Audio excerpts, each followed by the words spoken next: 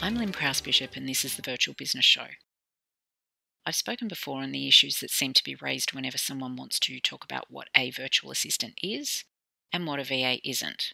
It happened again in a VA group. Yes, that would be a group for VAs. It's written right there in the description. But still, there it was.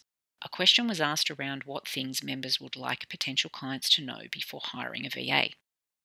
This drew quite a few responses along the lines of clients don't hire a VA, hiring presumes employment, perhaps use work with or partner with or contract. This was not well received. Eventually, because the poster was being told effectively she had it backwards, it deteriorated and she said, Well, you can define your section of the industry how you like, and I can define it how I like. What an interesting place we would live if this applied to all industries. I realise that we currently live in a world where there are fluid definitions for gender, where people can choose the pronouns they wish to be known by, that academics are telling us what new terms we should be using to describe mothers, for example, and so it's probably understandable that entrants to this decades old industry similarly feel that it doesn't matter what terms they use. In terms of educating the public, it does. But let's just for a moment use the logic in, say, the airline industry. Let's say I'm the navigator on the plane.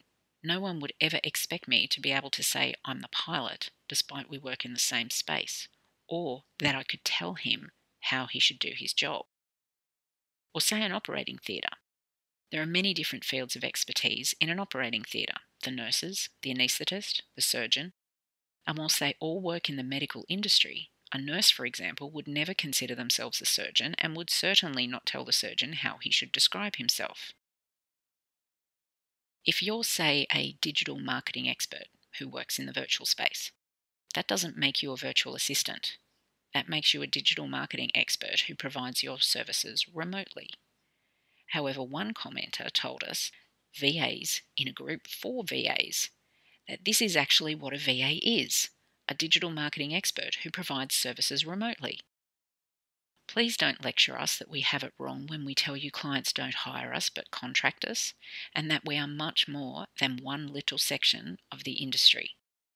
These might be the sorts of remote workers that you hire, but they're not virtual assistants who partner with clients long term to move their businesses forward in a positive way. With respect, you cannot redefine a decades old industry any way you see fit. This person even said that clients onboard VAs. No, that would be the other way around. VAs onboard clients. This is not our interpretation of the industry. It is not opinion, it's fact. A freelancer may well be hired, but a VA is not. A lot of the comments were coming from people not VAs, people not even a part of the industry, telling us how we should define it. One commenter, not a VA incidentally, said that to today's business owners, a VA is a virtual assistant who will assist with virtual outreach and marketing. Well, to that, I say that's probably the sort of support personnel that you've been looking for, but it's not the definition of a virtual assistant. There are indeed VAs who specialise in marketing, but that's one niche of the industry, much like a nurse is one niche of the medical industry.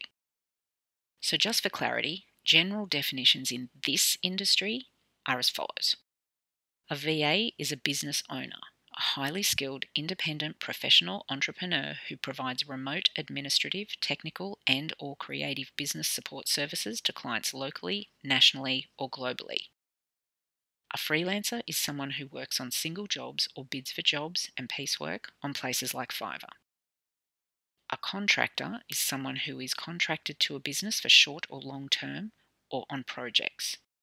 VAs can and do contract to clients on short term contracts as needed. A person employed or hired by your business to work remotely is a teleworker or a remote worker. The argument in this discussion was that you need to use the language potential clients understand, and clients understand hiring a VA.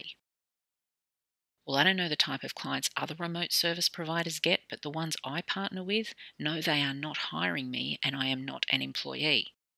The language is the language of employment, and that opens a big can of worms.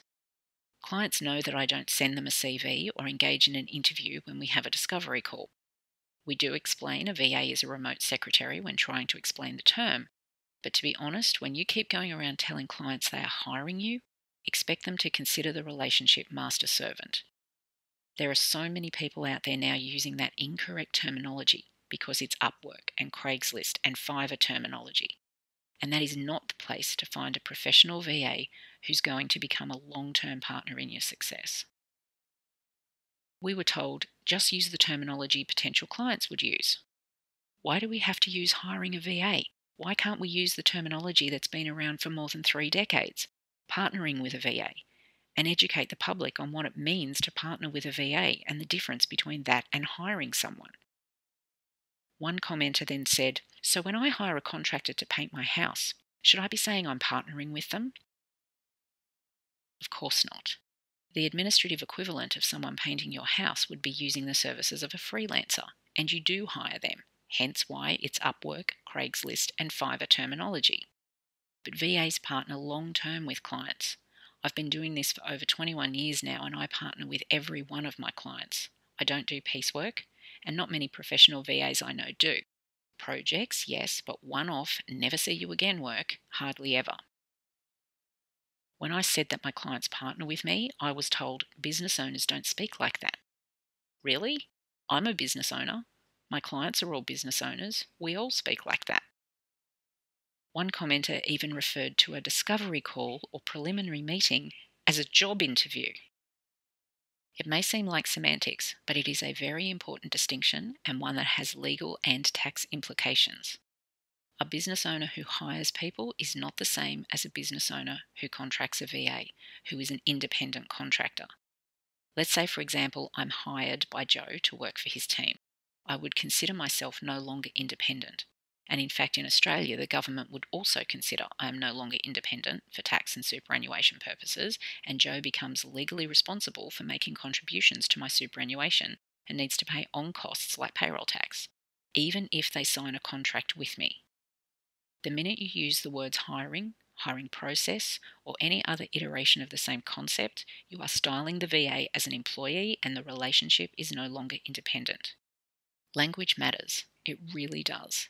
If it didn't, we wouldn't have such a kerfuffle right now about mum and dad and pronouns. Using different words can muddy the waters about what a VA client relationship is, and we have a responsibility to ensure the marketplace understands the distinction. Because, as I've just pointed out, there are legal ramifications if they don't. Language matters. I'm Lyn Prowse Bishop. Thanks so much for listening.